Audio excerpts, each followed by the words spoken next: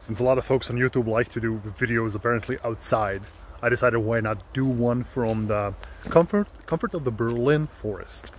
Um, we spend so much time in front of screens and um, um, well, you're probably watching this on a screen. But uh, let me try to talk some technology while taking a stroll through my uh, local forest in fall. It's beautiful here, so um, that's something you need, you need to dedicate some time to try and exit your house, at least remove yourself from the big old screen and watch a small screen in the forest. But why am I here? What, what am I going to try to talk about? So I would like to talk to you about um, CloudFormation, AWS CloudFormation. So on my last video, you've actually seen me talk about uh, infrastructure as code and why is that important? Why should you run your infrastructure, infrastructure through code on the cloud? And today I'm going to talk about AWS CloudFormation. And CloudFormation is this um, framework, this service that exists. It's the OG infrastructure as code on AWS. It's basically a service which allows you to write your infrastructure as well code, right? And uh, pass it on to AWS, and it will create stuff for you. Let's take an example. So let's say I want to create an EC2 instance, or I want to create a bunch of EC2 instances and a load balancer and an S3 bucket.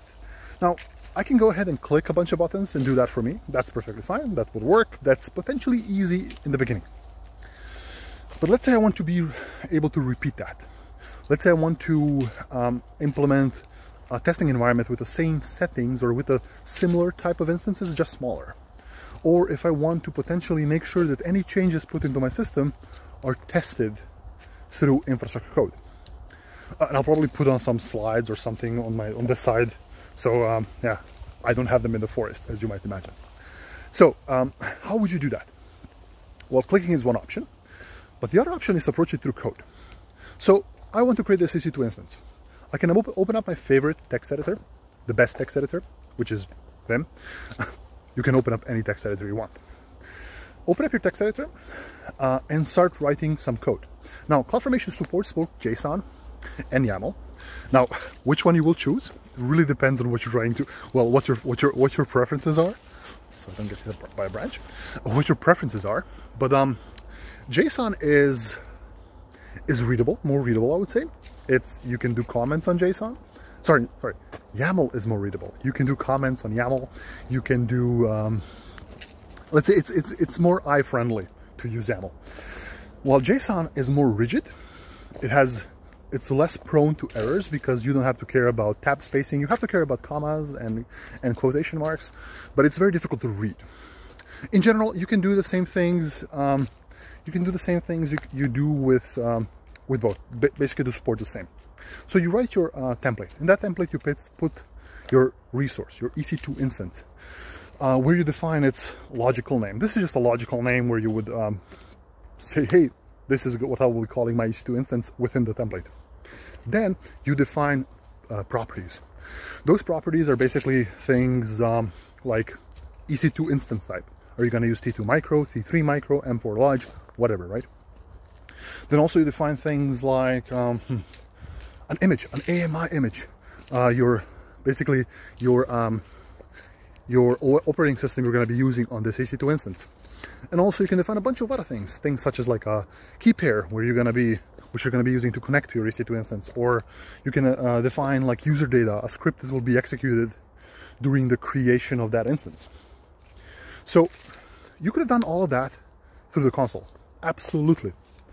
But it's much more manageable to do all of those things through code. So um, that's one thing.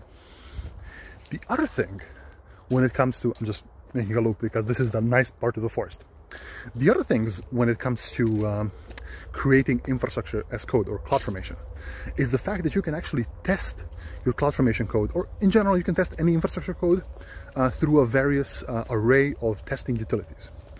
So uh, by treating your uh, infrastructure code or treating your CloudFormation templates as any other application code, you can number one, put it in a Git repository, version control it. And number two, you can also do things like um, pass it through a pipeline where you will implement a lot of testing. So CloudFormation has a lot of testing tools out there. So from like do, doing things with CloudFormation lint or CFN lint, which is, you guessed it, a linter. and there's also like things called CFN nag, which is a great tool that looks at your code and detects potential um, potential insecure patterns an open security group or something like that. So again, links for all of those things I'm going to be talking about are going to be somewhere here. And I'm hopefully going to be showing how CFN and CFN looks just right here. Um, what else? Um, uh, if you want to actually test your CloudFormation code through like a proper deployment to uh, like by deploying your code, you can use tools like Taskcat. Taskcat is a great little tool that enables you to actually test your code by deploying it to well to your AWS account. So um, um, that's a pretty great way to test it because not everything not everything on CloudFormation can be tested through static tests. So you would have to do something like that. So now, in essence, what do we have here? We have a piece of branch, a piece of code uh, that, that creates your EC2 instances, creates your S3 buckets, creates your any resources on AWS through just writing it in a text editor. Number one, this enables you to have a predictable and repeatable way of deploying infrastructure on AWS. Number two, it gives you the ability to test that code. And number three, well, it gives you the ability to create infrastructure from anything. Anything that can have a text editor on it, you should be able to do it. if you can fire up your Amiga computer or even your Apple II and write a text file and then export that text file somewhere else, you effectively used a very old computer to provision cloud infrastructure. Very, very cool. Now, I'm not going to use this chance. I'm not going to use this case to compare CloudFormation to Terraform and CDK. I'm going to do another video separate just to kind of compare those things and which one should you choose. But let me put it like this.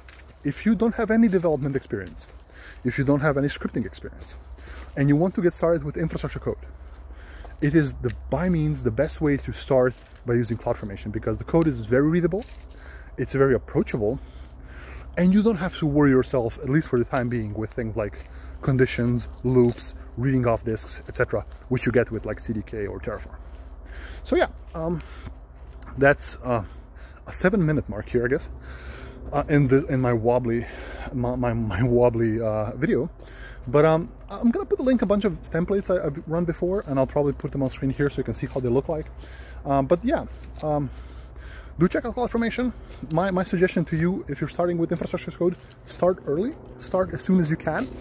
Um, there's an airplane flying by. Start early as you can. Um, get, even if it's a single instance, even if it's a bucket, if it's a single auto-scaling group, start with AWS CloudFormation. Or sorry, start with infrastructure as code. It will help you do things much better in the long run. Well, um, I guess that's that. Until next time, maybe the next video is going to be also in the forest. I'm not sure. But uh, we are losing leaves quite fast and um, it's not going to be as pretty next time as now. So um, hope you enjoyed this uh, weird way of, of, explaining what is cloud formation, what is cloud formation Forest Edition. Uh, and yeah, hope this video is not too wobbly as well. But uh, I will be seeing you sometime soon. Bye-bye.